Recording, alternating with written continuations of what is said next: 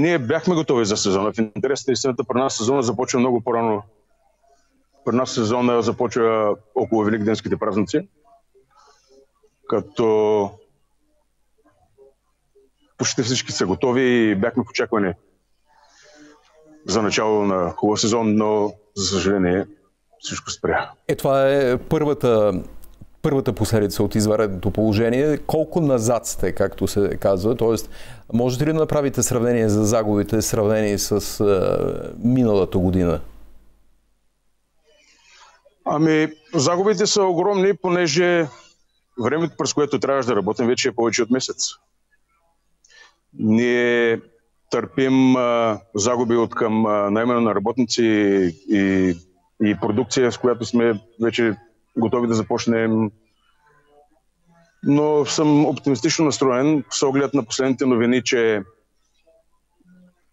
Уизер, да речем, откриват линията си Варна по а, Лондон и, и има, има, усеща се някакво раздвижване, усеща се някакъв оптимизъм, който на хората може би може би, защото прекалено дълго стояхме вкъщи за това.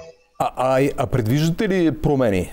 Смисъл за по-малко наети работници, за цени? Не. Изобщо по какъв начин ще бъде ли лятото 2020, каквото беше 2019? Освен, че искаме, разбира се, всички да бъде такова. Искрено се надявам. Искрено се надявам да бъде същото, дори и по-добро.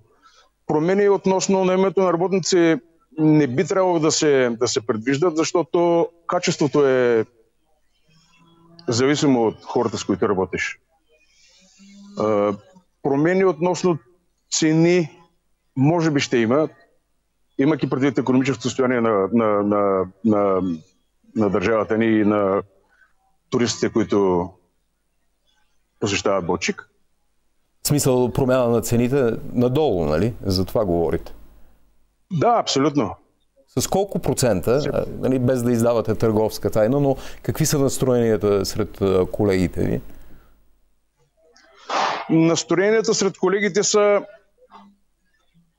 всеки, вижте, това е специфично и всеки, всеки сам се взима а, такива решения за цени надолу или за някакъв друг вид компенсация, за някакъв друг вид а, услуга към туриста, но повярвайте ми, ще се справим.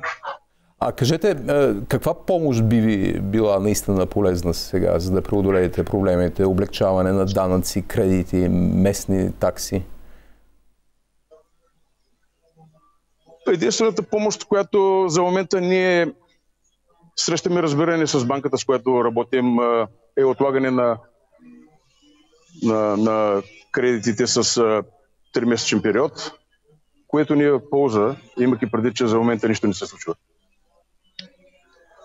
Другото е много по-глобално и мащабно. Ние, знаете, от бранша от много време искаме намалене на ДДС.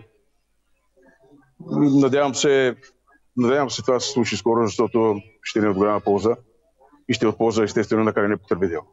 А това, което зависи от общината, защото в крайна сметка виждам там зад вас терасата, нали, това е да го наречем тротуарното право.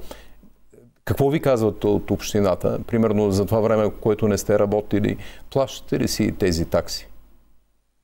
Ами ние вече сме платили така или иначе. В един по-друг, последващ период от сезона ще има разговори, ще има облегчаване, ще има помощ. Общината е готова да ни помогне. Имали сме разговори вече, общината е готова да ни помогне. Какво? Ще, ще направят прихващане ли, след като сте платили? Предполагам, предполагам, предполагам, предполагам.